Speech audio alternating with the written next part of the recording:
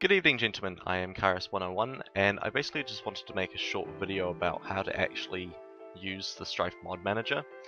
Um, so you need to go to mods.strifehub.com uh, and there's a link here to download the Strife mod manager.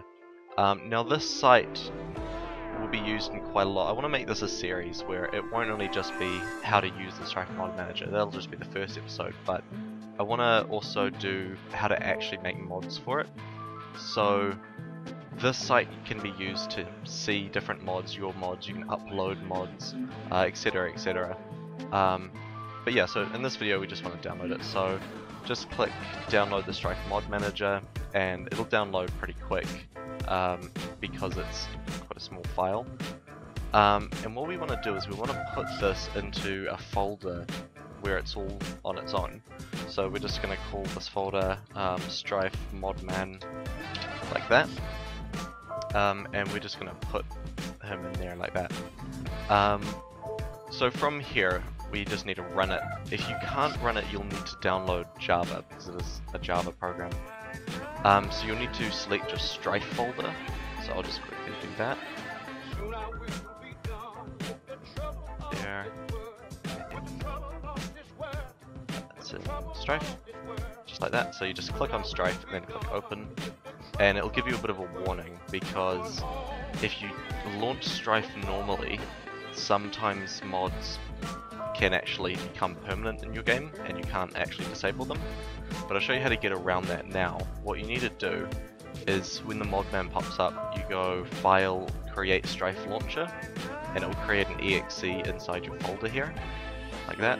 So moddedstrife.exe, what you do with this is you, you pin it to your taskbar or you make a shortcut of it and you put it on your desktop and you basically use this instead of your normal Strife launcher. Um, so back to Modman.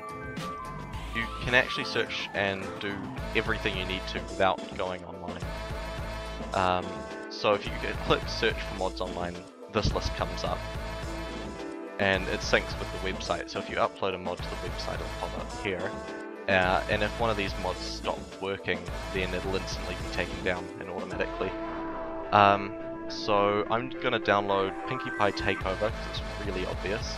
So yes, I do want to download it. Um, and I want to download Maple Cursor um, and Colorblind mod. They're good mods.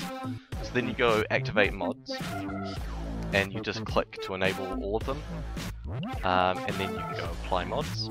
And it says it's successful but I I would normally go yes to launch Strife but I'm not going to because I want to show you what happens when you run the exe for the first time.